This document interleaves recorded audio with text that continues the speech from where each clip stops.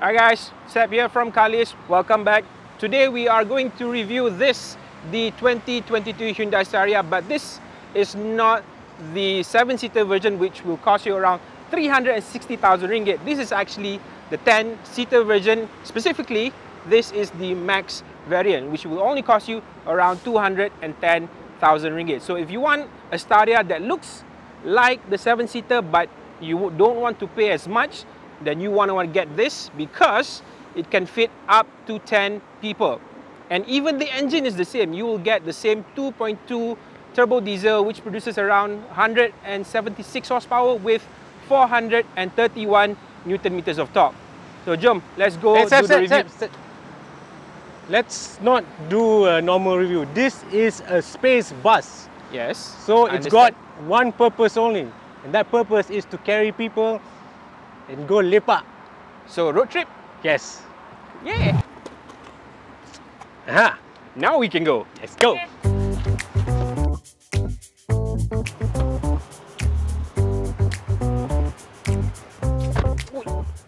Nat, there's like a gazillion seats at the back, Nat. Yeah, but this What is a doing 10 seater. The front row ada tiga orang boleh duduk. Yes, so look at this. Yeah, but it's more fun like this. Nat, this Aiyo, no fun lah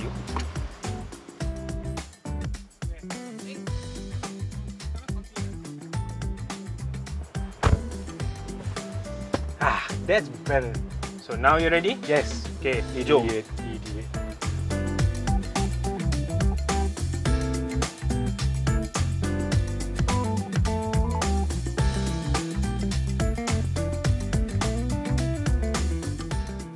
Okay, so guys, welcome to the Hyundai Staria. Okay, so apart from its extraordinary exterior spaceship look, Uh-huh. one of the reasons the Staria is liked in this market is because of, as you can see, the amount of seats it has. Yeah. So for once, I can bring you all along for a little jaunt up Janda Baik. You kidnapped us. Yes, you like it though because now we can all have some fun. I'm Uh-huh. hungry. All right, all right, all right. Shh, pipe down, pipe down, kids. All right. Don't make me turn this car around. Yes, yes, yes. Okay, so but I want to ask you guys, how is the experience at the back? I mean, yeah, I mean at the front we're all cozy. It's just nice. How about you guys?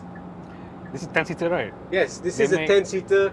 So yeah, one of the ve- MPVs that got most seats in the market right now. I have to I have to practice my core strength to make sure I stay in the seat. Oh, Yeah. okay. Dude, tell me about it. I'm sitting in the middle. Uh-huh. So I have no handles, nothing, and it, yeah. Your core strength, I think my core will be like got six apps by the end of this right. lah. But it, it's comfy enough lah. Yeah. huh? Yeah, the it's- seats are alright. It's quite spacious inside. Yes, huh? true. To the point where you feel like you're in a cave. Or a in fact. spaceship. or a spaceship, in fact. Okay. Yeah, because I think one of the things that I'm picking up is there's quite a lot of wind noise. Ah, right. Yes. Huh? I can hear tires, I can hear wind. Yes. Yeah. Uh, I think that's due to the vast amount of glass around. But, I but I do like the fact that it's so big though. Usually when you're in such a car like this, you feel very like, you know, what's the word, Claustrophobic. like, claustrophobic is Yes. right. But now it's like, hey, and perfect for a road trip. You can see the scenic views and all that. But so got plus and minuses lah for the big Correct. windows. So in life we can always not have everything, right? But still, there's there's pros and cons. But I think if you were to have this and you're a family and you have kids, they would not be complaining at all. oh yeah. They would actually be having a lot of fun back there, right? Yeah, yeah, yeah. Okay. Perfect. All right. Yeah, it's a perfect price as well because you you you know that the Staria looks great, but the seven seater costs way too much. Yes. So if you want something that is a lot cheaper but looks the same with the same engine, then you can get the 10 seater version, which is priced from what 180k to uh, this one 210k. Yes. It's a lot cheaper. How much is the 7 seat? Uh, 360,000 ringgit if I'm not mistaken. That is a lot of money for a Hyundai. Yeah. Yes. Yeah. This is more like it, I think. But I think one of the things that this car also excels at is its power plant, right, Seb? Yes. Yes. So like this diesel engine is known to be like the workhorse engine, as Seb is proving now. yes. So uh, yeah, I've been driving this car for quite a, quite a while already, and I feel like it's very light on its feet, despite the size. Because I wouldn't know that it's a big MPV without looking at the rear view mirror. Because if I'm driving just looking at the front, it feels like a very light car to drive. If that makes sense. Yep. Yep, yep. because you have access to power, right? I mean, right now we have one, two, three, four, five, six. There's seven people in this uh, van, but Yeah. you don't feel like you're being bogged down because you have a lot of torque. Yeah, I, and I'm not even in sports mode or whatever. I'm actually in the smart mode, and it feels like nothing. Actually, it feels like it's not struggling. It's not like there's there's like a lot of people in the Karak. It feels just the same. Yeah. Mm. By the way, we are at car right now, so we are going this upwards like that. So Sam is just having a good time. As you can see, he's just there's a lot of pulling power, so there's not really much problem when it comes to power in this car. MPV, MPV. MPV. Alright, so there you go. Jim and Nadia gave their impressions of the second row.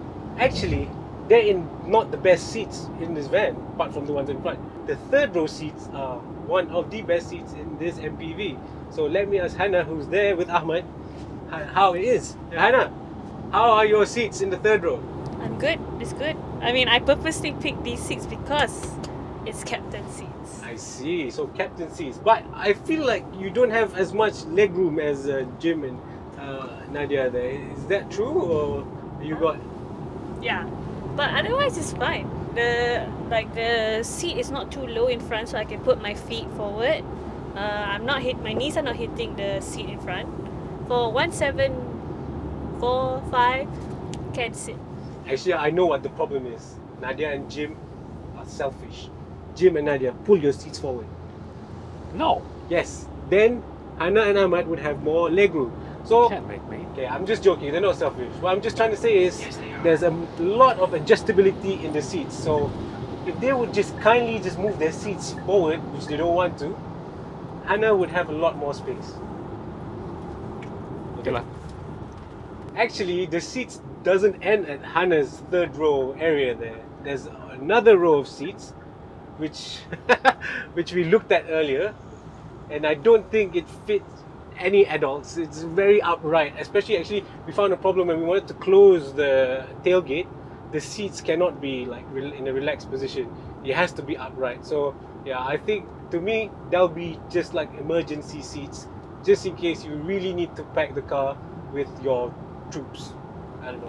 If you want to go for war or something. Yeah, so you can actually fit 10 people, but not exactly Barely. 10 adults. Yeah. And when you have 10 people in the car, there's not a lot of room for luggage. Actually, very little room for luggage. So, right now, in our current situation where seven people are going on a road trip, a short road trip, there's enough space probably to carry all of our luggages.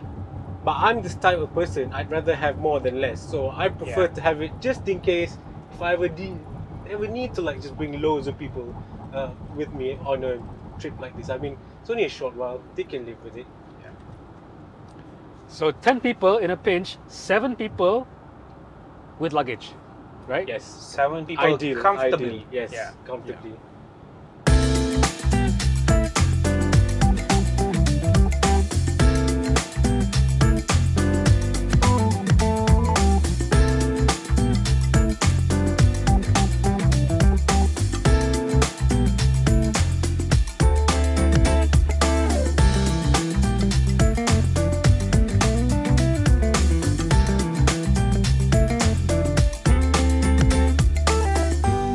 Alright, so huh, that was a fun trip. Huh? We managed to get everybody to come and eat with us at Lemang Toki. Yeah, so Yeah. it's just a nice trip out of the city for a nice lemang and lemang toki.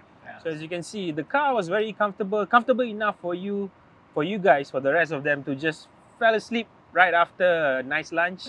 So as you can see, it drives nice. I like it, and I'm pretty sure the uh, passengers like it too. Yeah, exactly. But you know, with every car, it's not always going to be like 100% perfect. I mean, yeah, one of the things that I picked up was that it's really noisy inside when you're traveling at speed, or because it feels like a cave inside. You know, there's a lot of space. Yeah, there's, There's, a lot that, of glass yeah. everywhere, and But then it's it's, it's uh, to me it's tolerable lah. tolerable. It's not eh? it's not extreme. It's okay. Okay, like uh, that bugged me, and also another thing that bugged me is this Side step. the side step. I don't really see the point of it, and then couple of times I opened the door and then I forgot it was there, and the side step just swiped my foot. So Tapi Yeah. cool kan dia keluar. Yeah, ada definitely, tau. definitely a party piece lah. But Yeah, yeah. Apart from that, I can't really see the point of it. I mean, tada. I mean, Yeah, Yeah. Also, uh, I don't doesn't how, feel very uh, sturdy. it, it works now, but I don't know if it will last. That's the thing. Yeah. But hopefully it will lah. Yeah, but I, I like like I mean like sitting at the passenger seat. I mean I put my hand there, that side thing there. It's quite padded. It's Mm-hmm. quite nice, and I can see a lot in this car. I mean you don't really you can't have that in like in other MPVs, but in this one because there's a lot of glass. Mm-hmm. When you're traveling, you just wow, you see a lot of things. Yeah. I also like the engine. The engine is nice, smooth, and really quiet for a diesel engine. You don't you don't feel Yeah. like it's very diesel. But so yeah, I uh, think for like 210k, I think the Hyundai Staria, I think ticks the right boxes. Not all of them, Yeah. but it definitely ticks the right boxes. Yeah. So if you ever need a car that's got a lot of well, MPV, that's a lot of seats, this is it. I mean, yes, seven is like the optimum comfort for Yes. seven passengers, but those extra seats might come in handy. You never know, and at least you have that option in this car. Yeah, so you don't actually have to buy the seven seater, which will cost you a bomb. You can actually buy the 10 seater and then just use the final row to store your luggage and whatnot. Yeah. It still fits seven people very comfortably, and it will only cost you uh, tiny, you know, 210k. I wouldn't say it's Yeah. tiny, but it's a lot cheaper than a seven seater. Yeah. Plus, this is one of the only diesel-powered MPVs. I mean, the rest are all petrol, so you get the benefits of diesel, which means fuel savings. Betul. um, yeah, so I mean, only the Kia, its brother, technically is, is the only thing that is got going against it. But yeah, Yeah. we like this. I mean, maybe you should consider it too. Yeah. So, what do you guys think? If you have any comments, share them in the section below, and we'll see you again in the next video. Ciao. So another group of people cari makan lagi. Road trip again. Yeah. Yo.